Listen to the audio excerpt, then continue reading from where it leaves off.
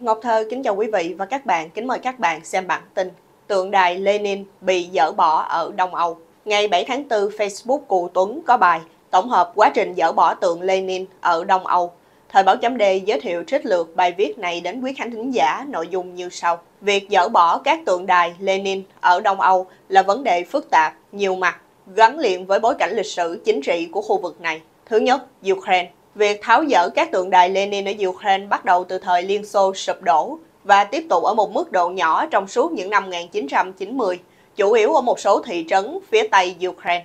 Tuy nhiên, đến năm 2013, hầu hết tượng Lenin ở Ukraine vẫn còn.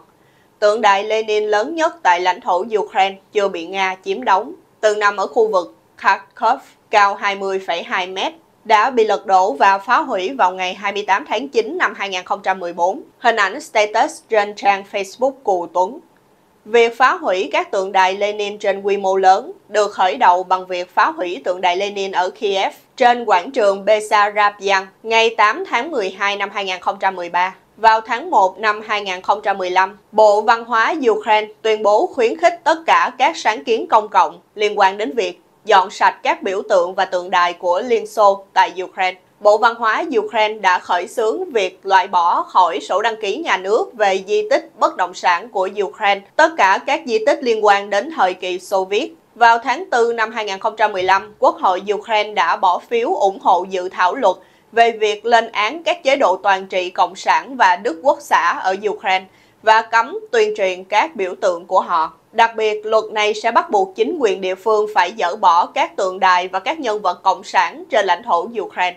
Một số ước tính cho biết có hơn 90 bức tượng Lenin đã bị lật đổ trong giai đoạn diễn ra biểu tình chống chính phủ Ukraine thân Nga năm 2013, năm 2014. Vào tháng 12 năm 2015, tuần báo Ukraine tính toán rằng 376 tượng đài Lenin đã bị dỡ bỏ hoặc phá hủy vào tháng 2 năm 2014. Hình ảnh một tượng đài Lenin bị phá hủy ở Ukraine.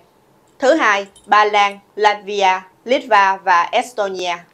Ở Ba Lan, việc dỡ bỏ tượng đài Lenin bắt đầu một cách nghiêm túc vào năm 1989, khi đất nước này giành lại độc lập từ Liên Xô. Chính phủ Ba Lan nhanh chóng lật đổ tượng đài Felix Dzerzhinsky, một quý tộc Ba Lan theo Cộng sản, người đã tổ chức lực lượng cảnh sát mật Liên Xô sau cuộc cách mạng Bolshevik năm 1917 dưới sự cai trị của ông Sheka, tiền thân của KGB, chịu trách nhiệm về làn sóng khủng bố người Ba Lan.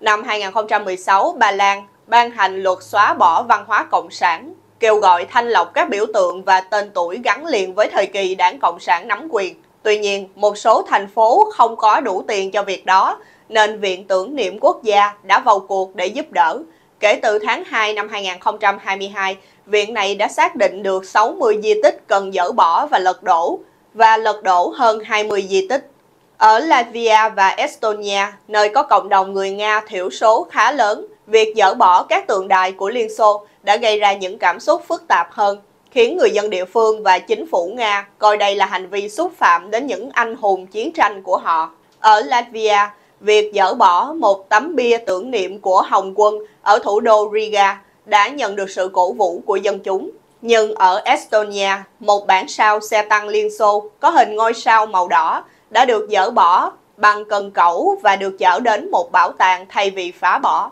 Hình ảnh Ba Lan phá bỏ tượng đài thời Xô Viết. Ở Litva, một số đài tưởng niệm còn sót lại của Liên Xô đã bị dỡ bỏ kể từ khi quốc gia này giành được độc lập mà không phải chịu sự phản đối. Ở Ba Lan, việc dỡ bỏ các tượng đài Hồng quân đã vấp phải nhiều phản ứng trái chiều. Trong một số trường hợp, người dân địa phương ủng hộ việc giữ lại các đài tưởng niệm Hồng quân vì vai trò của họ trong việc đánh bại Đức Quốc xã. Tại thành phố Gdansk ở phía bắc Ba Lan, đã có một cuộc tranh luận sôi nổi về biểu tượng xe tăng T-34 của Liên Xô trên đại lộ Chiến Thắng và thành phố này đã quyết định không dỡ bỏ nó. Chỉ huy xe tăng này là một trung úy người Ba Lan và binh lính Ba Lan đã đóng vai trò then chốt trong việc giải phóng thành phố này, tên cũ là Danzig, khỏi Đức Quốc xã. Tóm tắt, việc dỡ bỏ tượng đài Lenin ở các nước Đông Âu phản ánh mối quan hệ phức tạp và thường xuyên gây ra tranh cãi giữa quá khứ và hiện tại của khu vực này. Đó là lời nhắc nhở về sự cần thiết phải đối mặt và giải quyết các di sản của quá khứ, đồng thời tìm cách tưởng nhớ và ghi nhớ các sự kiện và trải nghiệm đã định hình nên lịch sử của khu vực trên. Quý vị và các bạn vừa theo dõi chương trình cập nhật tin tức của Ngọc Thơ Thời báo chấm D với bản tin Tượng đài Lenin bị dỡ bỏ ở Đông Âu. 7 đảng viên cao cấp bị ban bí thư khai trừ, 4 người liên quan đến tập đoàn Phúc Sơn. Ngày 9 tháng 4, AFA tiếng Việt loan tin, Ban bí thư Đảng Cộng sản Việt Nam khai trừ 7 đảng viên cao cấp. Theo đó, Chủ tịch, nguyên Chủ tịch Ủy ban Nhân dân các tỉnh Vĩnh Phúc, Quảng Ngãi, Phú Yên cùng 4 viên chức cao cấp tại những địa phương này và hai tỉnh Hà Giang, Gia Lai bị Ban bí thư Đảng Cộng sản Việt Nam khai trừ do vi phạm. Hình ảnh bản tin trên AFA. Cụ thể, AFA cho hay 7 người bị khai trừ đảng mới nhất gồm Chủ tịch Ủy ban Nhân dân tỉnh Vĩnh Phúc Lê Duy Thành, Chủ tịch Ủy ban Nhân dân tỉnh Quảng Ngãi Đặng Văn Minh, nguyên Chủ tịch Ủy ban Nhân dân tỉnh Quảng Ngãi Cao Khoa, nguyên Chủ tịch Ủy ban Nhân dân tỉnh Phú Yên Phan Đình Cự, trưởng ban quản lý các khu kinh tế Dung Quốc và các khu công nghiệp tỉnh Quảng Ngãi Hà Hoàng Việt Phương, Giám đốc Sở Giáo dục Đào tạo Hà Giang Nguyễn Thế Bình, nguyên Giám đốc Sở Giáo dục Đào tạo tỉnh Gia Lai Nguyễn Tư Sơn. Theo AFA, quyết định khai trừ ra khỏi đảng đối với 7 quan chức vừa nêu do Ban Bí thư Đảng Cộng sản Việt Nam đưa ra ngày 9 tháng 4, căn cứ đề nghị của Ủy ban Kiểm tra Trung ương Đảng Cộng sản Việt Nam đưa ra. Truyền thông nhà nước cho hay trong 7 người này có 4 người, gồm ông Lê Duy Thành, ông Đặng Văn Minh, ông Cao Khoa và ông Hà Hoàng Việt Phương có liên quan đến tập đoàn Phúc Sơn. Hình ảnh những quan chức nhận hối lộ của tập đoàn Phúc Sơn. Như tin AFA đã loan, sau khi ông Nguyễn Văn Hậu, biệt danh là Hậu Pháo, chủ tịch tập đoàn Phúc Sơn bị bắt hồi cuối tháng 2 vừa qua, nhiều lãnh đạo một số tỉnh gồm Vĩnh Phúc, Quảng Ngãi, Vĩnh Long bị bắt về tội nhận hối lộ. Những quan chức lãnh đạo tỉnh bị khởi tố và bị bắt gồm Bí thư tỉnh Vĩnh Phúc, Hoàng Thị Thúy Lan, cựu Bí thư tỉnh Quảng Ngãi Lê Viết Chữ, Chủ tịch Ủy ban Nhân dân tỉnh Vĩnh Phúc Lê Duy Thành, Chủ tịch Ủy ban Nhân dân tỉnh Quảng Ngãi Đặng Văn Minh. AFA cho biết thêm, Bộ Công an Việt Nam ngày 3 tháng 4 vừa qua đã thông báo liên quan đến vụ án xảy ra tại tập đoàn Phúc Sơn. Tính đến ngày 27 tháng 3, Cơ quan Cảnh sát điều tra C03 thuộc Bộ Công an đã ra quyết định khởi tố bị can, bắt giam 17 người. Liên quan đến công cuộc đốt lò, thanh trừng nội bộ của Đảng Cộng sản Việt Nam, ngày 1 tháng 2, AFA đưa tin Đảng Cộng sản Việt Nam kỷ luật hơn 24.000 đảng viên trong năm 2023. Theo đó, trong năm 2023, Đảng Cộng sản Việt Nam đã kỷ luật 606 tổ chức đảng và 24.162 đảng viên trong công tác phòng chống tham nhũng tiêu cực trong đảng. Hình ảnh phiên tòa xét xử đại án Việt Á, một vụ án kéo theo rất nhiều quan tham vào lò. Theo AFA, truyền thông nhà nước dẫn bản báo cáo của ông Đặng Văn Dũng, Phó trưởng ban nội chính Trung ương, cho biết như vậy tại cuộc họp vào chiều ngày 1 tháng 2 thông báo kết quả của phiên họp thứ 25 của Ban chỉ đạo Trung ương về phòng chống tham nhũng tiêu cực. Kết quả này được ông Dũng nhận định là do công tác phòng chống tham nhũng tiêu cực tiếp tục được đẩy mạnh, ngày càng quyết liệt, đồng bộ, đạt được nhiều kết quả toàn diện ở cả Trung ương và địa phương.